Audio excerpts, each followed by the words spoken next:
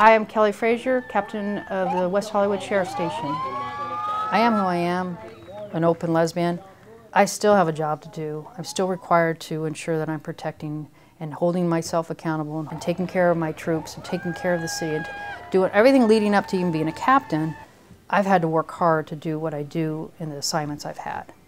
You like my office? Really I, I really, actually, it's, I call this my lounge. Uh-huh. A round table, everybody gets to sit there. It's, I call it my living room because I don't want it to be an office. We are here for this community. This is the West Hollywood Sheriff Station. West Hollywood. Okay, it doesn't say Los Angeles County Sheriff Station, it says West Hollywood Sheriff Station. And you do the right thing for the right reasons and you wear that uniform proudly and you treat everybody with, with dignity and respect. Bottom line. When uh, you call 911, uh, the phone calls come in here. We're there for you to make sure that you, the bad people don't come here. I mean, that's really what we do. We prevent bad people from acting up. I've never taken my uniform for granted.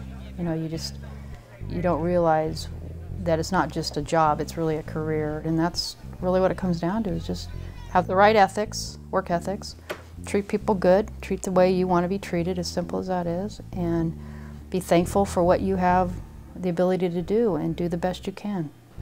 Um, I was a college athlete, um, played basketball, very disciplined sport, and um, when I said, Mom, I want to apply to be a deputy sheriff for Los Angeles County, she says, Well, I knew you'd be in something where you'd do something the right, you know, for the right reasons, because you're always such a Dudley do right. And she's been my biggest supporter.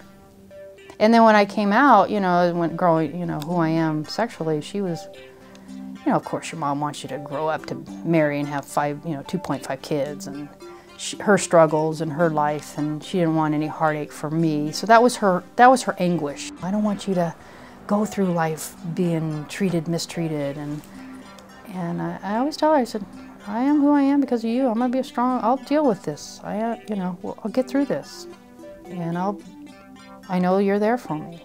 And she's always been there. There are people that still are homophobic and, and uh, I get that. So I can't just sit back and go, oh gosh, it's okay in California, so therefore I don't have to protect you. No, I have to continue to protect their community because there are people that, that don't feel that way. And, but I have to protect them too.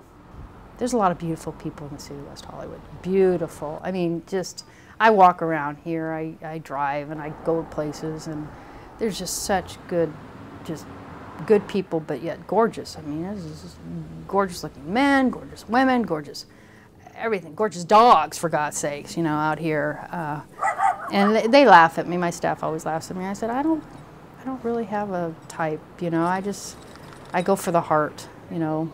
You, you got to follow the heart first because if you just get past the, the physicalness and if you can't find the prettiness of that heart, you, it's not worth it.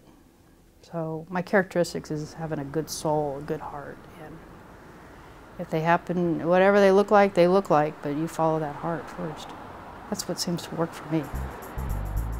How cool is it to be the captain of West Hollywood? I mean, it, it sounds ridiculous, it sounds kind of arrogant, but it's not. It's just, this community is, the people are just unbelievable. But they demand a lot, and I expect them to demand a lot. And there's times when people have to go to jail. Um, there's times when we have to hold people when they're, you know, when something bad happens, and there's times where we just have to be there.